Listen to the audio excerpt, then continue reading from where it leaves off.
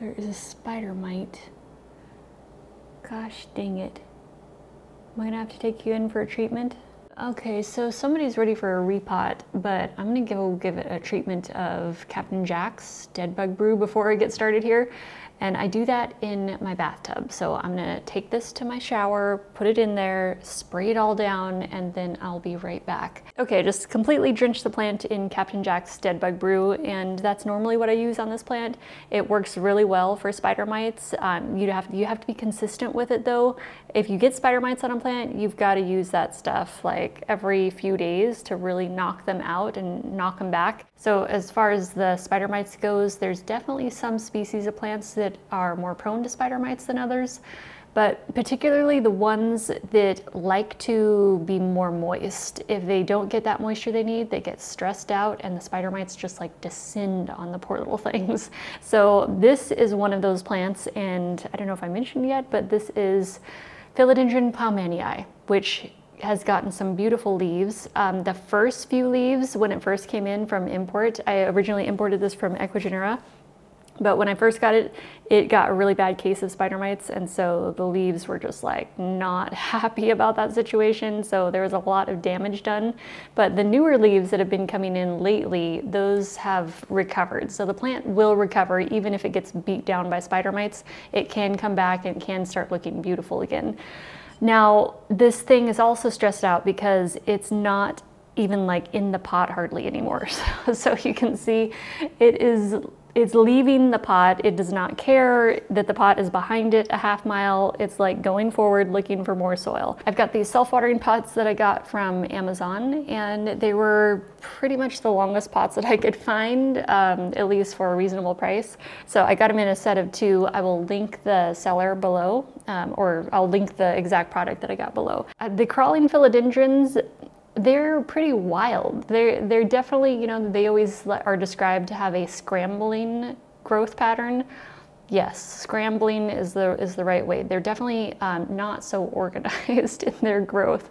It's, uh, I'm grateful it's growing straight though, so at least I can get this one into the pot, but wait until you see some of my other crawlers. They're, they're out of control. So um, by the time I pot this in here, it's gonna put out like two leaves and already be ready to get out of this pot, but we're gonna try it anyway. All right, there we go. All right, we gotta change out the old soil. We gotta we gotta let people off the elevator before we get on, right? So let's let's get the old soil out of the pot. So I just used my knife to uh, slide down the edge of the pot. So one of my favorite parts of doing a repot is to actually see my old soil recipes and see how they aged over time, you know? Because if they compacted or something, I, I need to know that. Or if the roots are like not so hardy in there, or maybe they are, maybe they did really good. It's just interesting to see like the root growth tells you everything you need to know about the soil it was grown in, right? All right, I'm just trying to work that root ball free, gently slipping the knife right along that edge of the pot and just kind of giving it a little lift as I move around. Sometimes it helps to kind of push through the drainage hole, just kind of release the bottom of it. All right, so let's see what the roots are doing in here. It is lightly damp, but wow, it's amazing how much that was drying out. No wonder it was a little bit stressed because these plants like a little bit more moisture. So in my old aroid recipes, it looks like I was using a lot more soil and less chunk. So, I mean, nowadays I use a lot more chunk. So it's just interesting to see how our, our potting soil ages over time, you know? But I was really glad to see that it was not compacted at all. Also, what's interesting is when you shake most of the potting soil free, you're able to see what the roots were actually growing on and what they wanted to hold on to. And it's the cocoa chips, which is, it's really fun to see that. They do the same thing with bark too, but they love the chunk. So the new mix I'm gonna be putting it in is more chunky, it has more cocoa chips, so there's no soil in here. So I've been experimenting with soilless mixes. So I started using way more cocoa husk chips and fiber, more pumice, the coarse pumice. There's also cocoa peat in here to hold on to moisture, so that's kind of like replacing the potting mix or potting soil mix. Um, let's see, what else do I have in here? Oh, worm castings. Yeah, I always use worm castings, like at least 10% worm castings, 10% horticultural charcoal. Oh, actually, you know what? When I pot this up, I forgot, I don't want to pot it up while the outer pot is, um, is under there because it gets all dirty. So actually, I already got it kind of dirty somehow. Um, all right, so I'll just set that down here. Okay, so I just want to show you guys the parts. So when you get this pot, how to set it up for self-watering. So here's what this self-watering pot comes with. So you have the tube and it has some openings on the very bottom here on that little black cap. And then the float has like the little orange straw and the little floaty part that just drops down inside the tube. When I'm attaching it to the pot, I will actually hold onto that straw just so there's a little more of it poking out. And then this is the pot and it has a hole up here. So I just take that straw that I'm holding there, the float straw, and just feed that through the hole and take the tube and just friction fit that in there. And then the cap tells you what level your water is and it has minimum and maximum. So I just slip that on and that also friction fits inside there. So this pot has vents around the side and the bottom and it also has feet and then three spots where it soaks up the water. So it has those vented spots that kind of protrude downwards. So that's how it actually soaks up the water. Now these self-watering pots, I do have one plant in there, uh, crawling philodendron already. And so I've been able to already kind of test it out and see how much water they actually soak up because different self-watering pots like take up more water than others, right?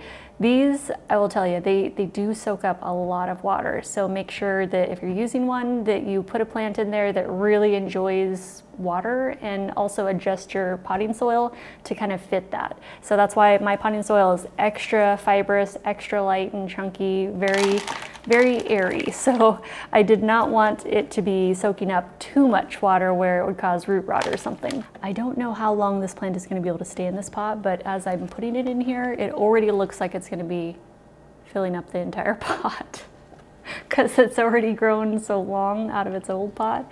I'm, I'm gonna have to repot this again in the spring. I can feel it already. I'm trying to get some soil kind of fluffed back into those roots since we kind of shook out the old soil.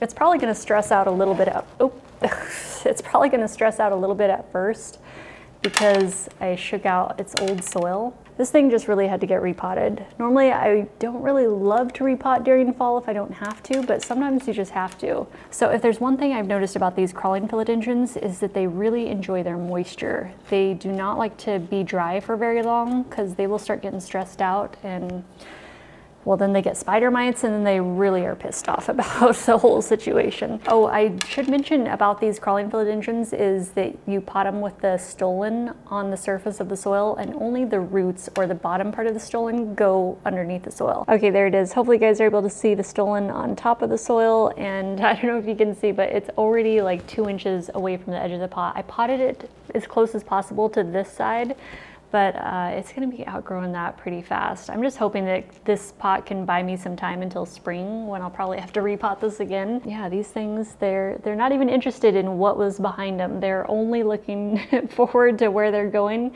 which is out of the pot. All right, I'll take this to the kitchen. I'll show you guys how I start with watering this in for the very first time and uh, getting the reservoir set up and then I will put it in the plant room. So, all right, off to the kitchen we go. So I'm gonna use a couple drops of Super Thrive. So I just take a little little eyedropper, get in there and add like three drops to my watering can. I just have a little small watering can. So that's pretty much all I use for the very first watering, just until the plant gets time to kind of get more comfortable in the pot, kind of get settled in there. And so then like in, you know, two or three weeks, then I will give it its first dose of fertilizer.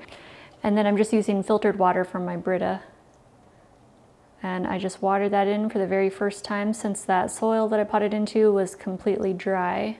Actually, I'm going to add a small scoop of systemic granules also because I am putting this into a self-watering pot. Fungus gnats love self-watering pots and uh, I don't love fungus gnats. so I'm going to use this. This normally does pretty well to keep fungus gnats at bay or really knock them out if you get a bad infestation. Normally I would add that before watering, but now I got to water again because I forgot to add those first. Okay, now I'm just going to water those systemic granules in. And then that pot slides into the outer pot, which will be the reservoir.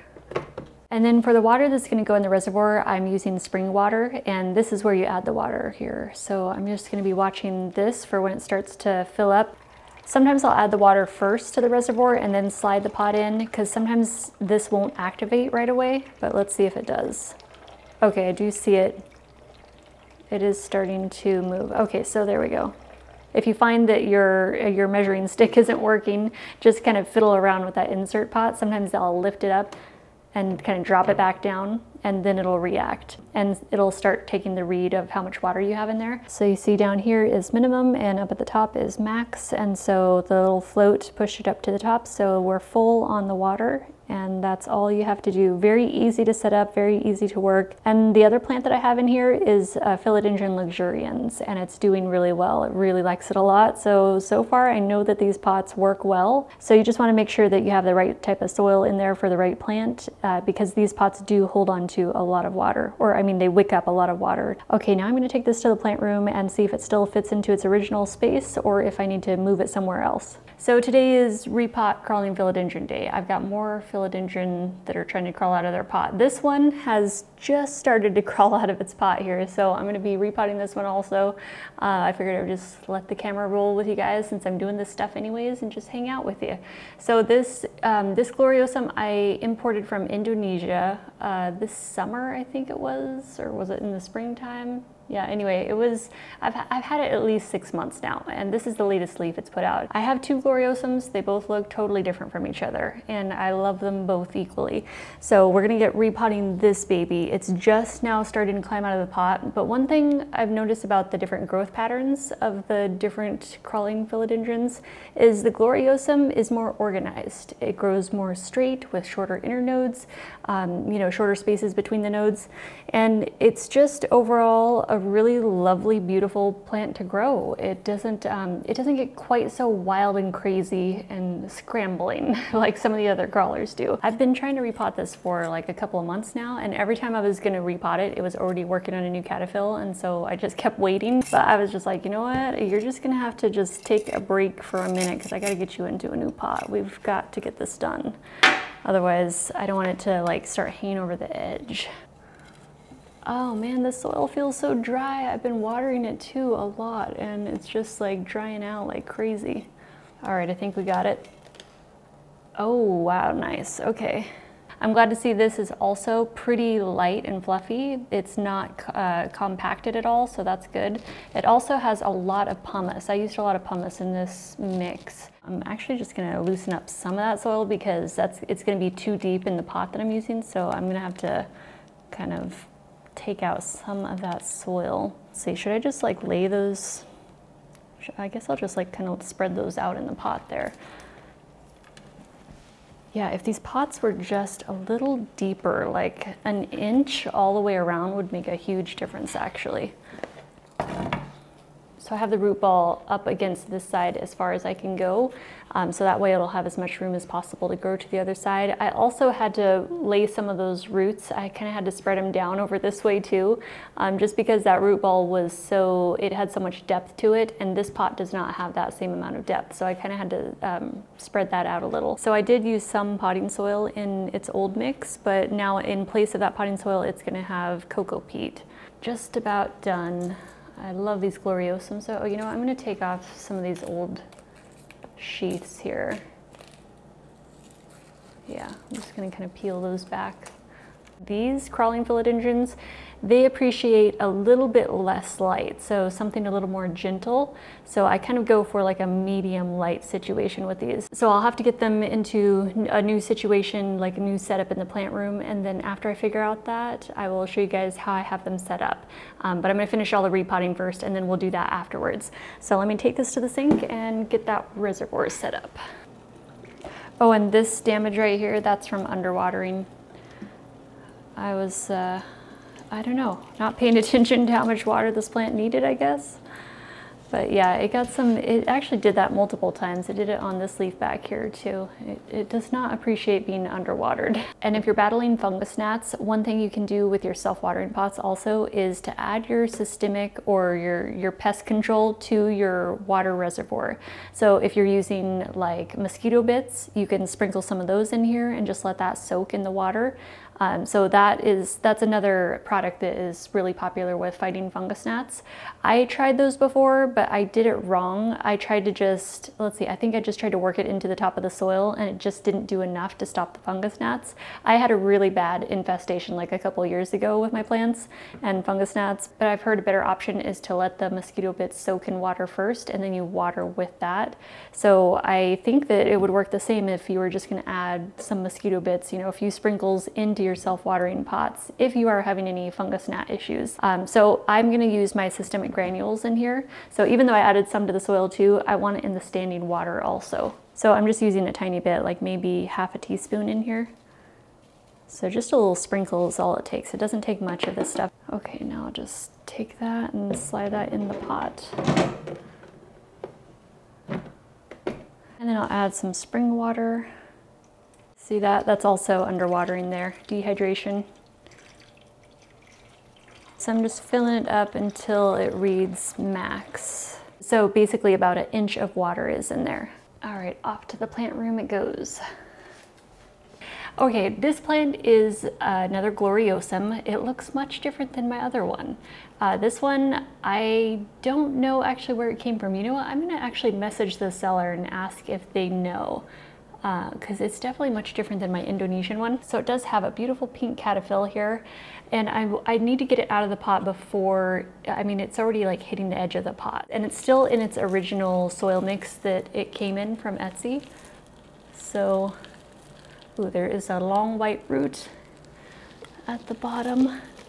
So I had my other Gloriosum first and I ordered this on Etsy just because I, I, saw how beautiful it was. It was like a darker version and it had brighter white veins. And so I wanted to, you know, have a couple of different Gloriosums just to kind of compare them and watch the different varieties grow. I'm really glad I got this one because uh, it is absolutely gorgeous. I love those dark green leaves. Oh, they're so velvety too with those beautiful white veins. All right, I'll just get the rest of this filled in.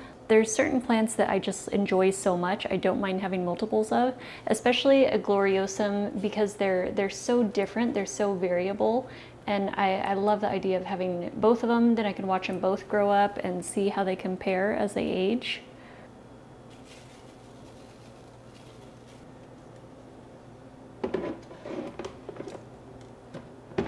Now I just gotta find the right place for each of these plants. Maybe I can have them lined up on a table so they can all get similar lighting.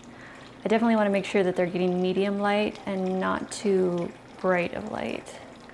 Now I just gotta find a place for this sweet little gloriosum in the plant room. I had to take a break there and go get some water and it's getting really warm in here this afternoon so I'm sorry I had to take off my fleece and long sleeve shirt because it's 83 degrees out and it's November 19th as I'm filming this right now so we're just having a, a warm fall. I have my uh, what is this? Mame, mame, philodendron mame here. It is climbing out of the pot. So I originally imported this from Ecuagenera and basically uh, it is very spider mite prone. So as we talked about before with the crawling philodendrons, they like moisture. They don't really enjoy drying out. And when they do dry out, they get super stressed and then the spider mites descend and attack the poor thing. So it does have some spider mite damage on some of these older leaves here. But I, I did try to air layer and so it does have roots in there. And what I'm gonna do, I think before we pot this up is I'm actually gonna go ahead and cut it off of the, the main stolon. So first things first, I have to make sure that my nippers are sterilized or at least disinfected here with a flame.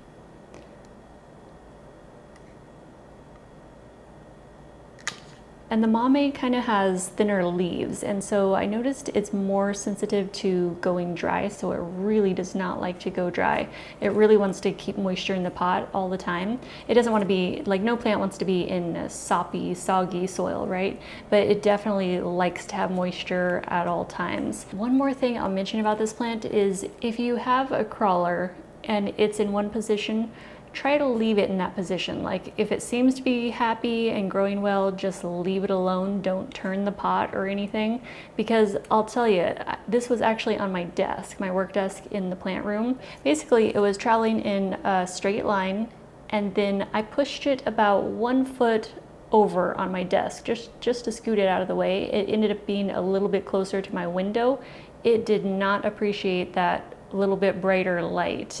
And it basically turned away from the window and started heading the other direction. And by the time I noticed that it was already too late and it basically just made like a right right hand turn like a 90 degree angle get trying to get away from the window.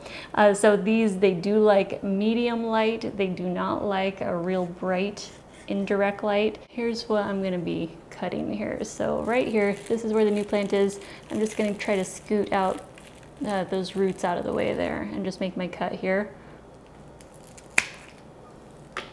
All right, can you guys see that cut in there? So I'm just gonna let this sit out and dry for maybe an hour and I'm gonna leave all of its roots still wrapped up, so all those air layered roots.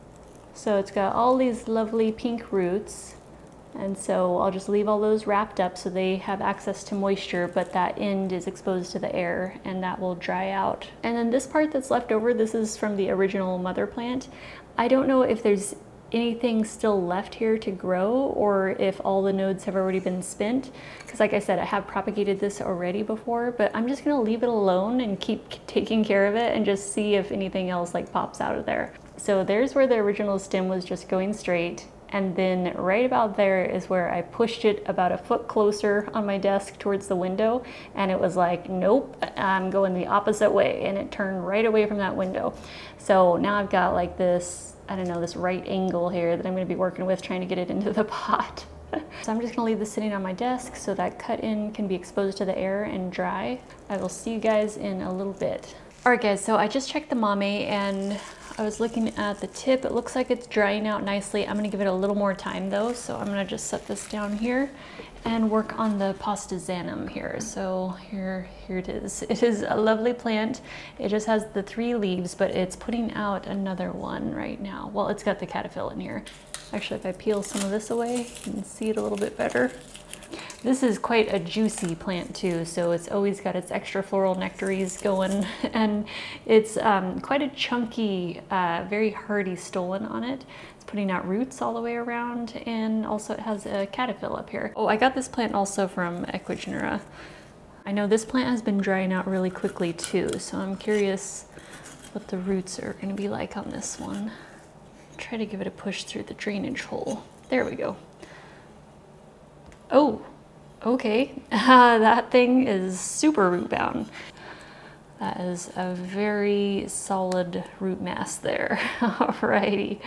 Uh, let's see the type of soil I used in this one. Okay, yeah, lots of cocoa chips and the pumice. Lots of big healthy roots around the top here too. Okay, I only want to loosen up that root ball enough just to where it's going to be able to settle into that new pot and be a little bit more shallow and not quite so deep.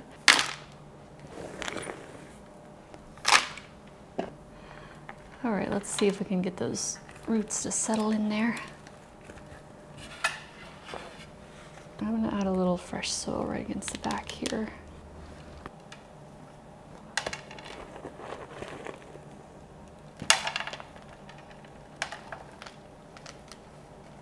So this Pastazanum, just like the other crawlers, it enjoys its moisture and does not enjoy going dry. It does not want to be dry for any period of time, really.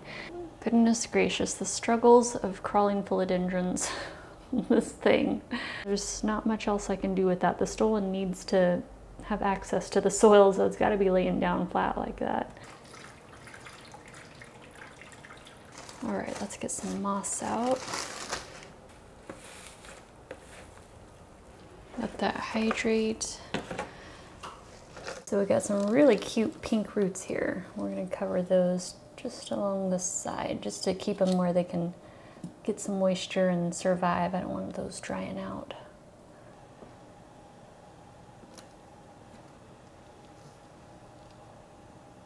I think the philodendron mame is ready. So the cut in looks like it's fairly dry. Yep. And I'm just gonna unwrap the roots that or air layered and I've been air layering this but I haven't been like real consistent about keeping it moist the whole time but I think that they've done okay. Um, so I'm just gonna try to remove as much of the moss as possible.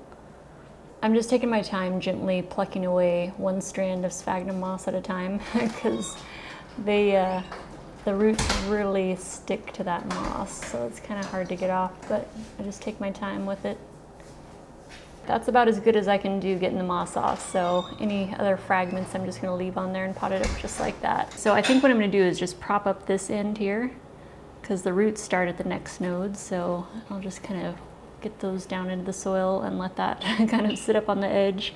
And hopefully that'll start getting this in position to grow straight. That's, that's the goal anyway, trying to get it to straighten out. Now I could just cut this in half again, but I've cut this plant so many times and I already have babies of it and I would just like it to start maturing. That would be nice, but we, have got to work with what we got here. And if I need to uh, up pot it and, you know, propagate it and do something different with it in the future, I can definitely do that. But for now, I'll just start with this.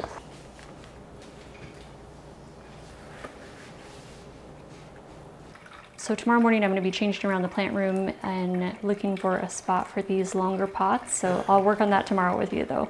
Good morning guys, it's five days later now and I figured I'd show you where I have the plants set up. So I've got the Pastazanum, the Mame, and one of my Gloriosums set up here on this little glass Ikea table. And this is directly under my Spider Farmer 2000 grow light. So I was actually growing the Mame, Pastazanum, and the Plowmanii down here on this bench originally, and they were doing fine. They seemed to really enjoy that level of light. And then my Alocasia micholitziana or Alocasia frydek took over the bench and it has been growing nonstop. It loves this light it fine like I finally figured this plant out. I mean, it's been doing fine for a long time, but I, there was some things that I couldn't, I wasn't understanding about it, and most of it had to do with lighting.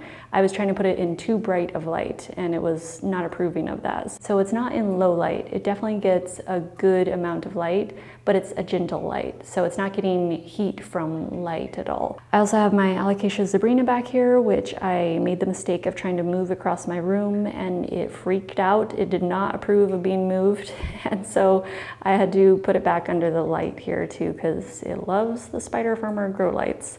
So actually both of those alocasias love this grow light. So I will see how the crawling philodendrons do under it. But yeah, five days later, no one's freaking out and everyone's looking good still. Oh, I guess I should mention um, the mame. I do have her baby up here too with her, so that is a little propagation that I did a while back. And then over on this side, I have my Plowmanii. And this is the mother plant that we just potted up. And then over here are all of her babies. And well, this baby just put out a brand new leaf, which is looking gorgeous. I did have a very large Monstera deliciosa against this wall, and it was basically taking up the entire wall. But I'm filming a video of plant room updates and that's one of the updates is I actually moved it into our bedroom and so now that opened up this entire wall. Michael and I had gone to Ikea, we got a couple of Vittsjo shelves. So this is that extra Ikea shelf that was going to go in our bedroom. That's what we bought it for, but since it didn't fit the space how we thought it would, it just became an extra shelf and I was like, oh, I will happily take that into the plant room with me. So I squirreled it away in here. The lighting, I'll show you how I set that up in that video that's gonna be coming up, but it's just a white gooseneck clamp-on LED grow light. And so I just attached that to the top. So I'm just gonna have to wait and see how they do. I'll just watch for new growth and also the, the size and color of any new leaves that are put out and just make sure that it that it seems to be happy. But yeah, it just gets mostly residual light being between my two grow lights, my two main grow lights here, and then also having that little um, that little supplemental gooseneck LED grow light up above there. And also right behind me is my southeast window. So it does get morning light coming through here and it really pours in and kind of lights up the floor in here, but they're out of reach of any direct sunlight. And then the other gloriosum is right here with the darker leaves and the white veins and it's putting out its new leaf. It is it has grown since we repotted it, so even in that five day period. So it looks like it's adjusting really well. And my Spider Farmer 600 grow light is directly above here. So as you go down the shelves, it gets progressively uh, more gentle, more gentle light fall on them. And then next to that is the Philodendron luxurians, which actually came in in the Equiflora order. And I did the unboxing and repot and everything with you guys. So I already did that video. But I guess a quick update, that's the newest leaf it just put out. It's looking beautiful. It does have a little bit of damage because I think there was a period of time where I forgot to refill the water. Um, so it got low and I guess I didn't realize that um, this thing really likes its water. It really does not want to dry out. There we go. You can see it there. Yep, so that is from going dry and it was not appreciating that. But otherwise, it's beautiful and it's a very nice size. So I really, really have been enjoying that plant. There's one of the original leaves that it still has. Actually, it has both of the original leaves it came with. The other one is over here. I'll show you another uh, mistake that I made. So this is the other original leaf that it came with, and you'll see that it has a peculiar bend to the petiole there, right? It's kind of like facing downwards. Um, yeah, that when you see that happening, the leaf is trying to get away from the light. It, it's not pleased about the bright light shining down on it. So I had it actually over here, if I turn this way without making you guys too dizzy here. I actually had it on that shelf over there. Sorry, I'm not, I'm not in focus. Hang on. There we go. So I had it on that shelf right there, but my window, my southeast window is right there. I thought it would be safe because it's like kind of like under there and it's not getting any direct sunlight or anything, but it was still too bright. So that excess light, it was only affecting this side of the pie here. So that's why it's only that one leaf and the other one is fine. But yeah, that's that's what's going on there. Anyway, so I just wanted to show you guys that. But yeah, these velvety leaves. Oh my gosh, I love the philodendron luxurians. Okay, I think that's all the updates for all my crawling philodendrons. All right, guys, thank you so much for watching. I hope you found this video interesting or helpful in some way. Um, I will let you go, but first, oh, I want to show you this leaf here. Look at that baby anthurium leaf. Oh my gosh, when I saw that yesterday, I was like, oh, that is like one of the cutest little leaves. I love anthurium leaves. They're so adorable. And especially on an already adorable plant. This is the Dorayaki that came in from Aroid Market and it is putting out a brand new leaf. I'm so happy I love this plant so much. Um, so anyway, I will let you guys go for this video and thank you so much for watching. I will see you in the next one. Bye guys.